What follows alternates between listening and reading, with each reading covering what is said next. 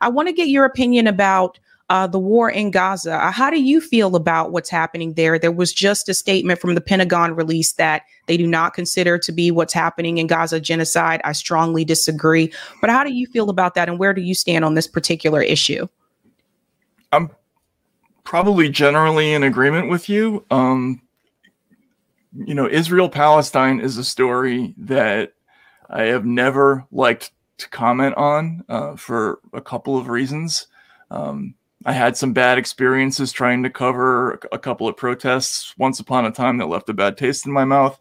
And the other thing is it's a very very complicated story with a lot of history and I don't know anything about it. Like I would I would love to just go there and learn uh, more about what's happening rather than opine from a distance. Like Ukraine, I know a lot of that stuff. I you know I lived in that part of the world for a long time. Um, but you know this is an issue where I just don't like to get in the. I, I find I found throughout my career that no matter what you say, um, unless you have it 100% nailed down, uh, you you get in trouble somewhere. And I I just don't know enough about it to to feel like I'm really an authority on it. You get in trouble about it with who? Zionists?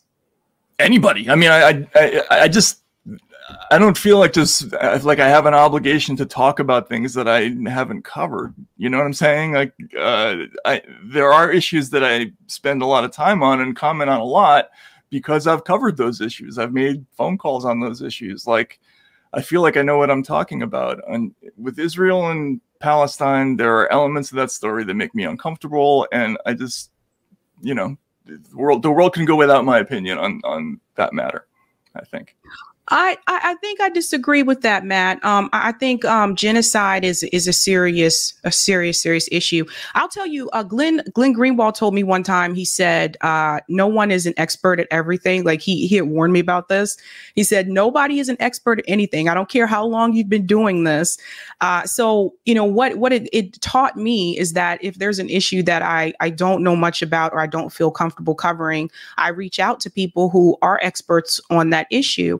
Um, um, I think it would mean a lot to, especially a lot of people watching, to hear, you know, how you feel about what's happening, because a lot of people do see you as a prominent voice uh, in in independent media, and they do value your work.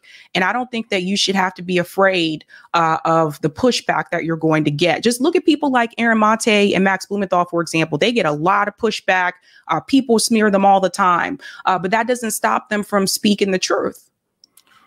Right. I just I, I just can't stress enough. There are things about this story that make me nervous, and I feel like, you know, it's the first rule in in medicine is do no harm. So if I don't say anything, I'm not doing any harm. Um, you know, my job is to get stuff right and not get stuff wrong. So you know, I I, I understand that uh, there are people who would like to hear from me on this issue, but I don't have a whole lot to add on this issue. i would be I'd be regurgitating something that I got from somewhere else, and you know, I, I I'm not a news service. I sort of disagree with that whole conception. Like, there are two or three things that I spend a lot of time on because I cover them over and over again. I'm constantly talking on the phone with people, and this issue just isn't one of them. I know that people feel like that's a that's ducking, but that's the way it is.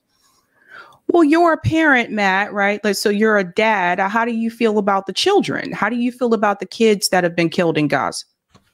I mean, not good, but again, I uh, I, I don't want to talk about this whole thing. I really, I just don't. I mean, um, it's it's not as it's not a news story that I would voluntarily talk about. Uh, let's put it that way. If I went there and and did a story, then that would be different. But uh, right now, it's everybody. I just don't feel like I need to be in the middle of it. There are a lot of people talking about it already. Um, you know, I just don't want to uh, chime in. Okay. Um, I, I want to move on to your article about Coleman Hughes.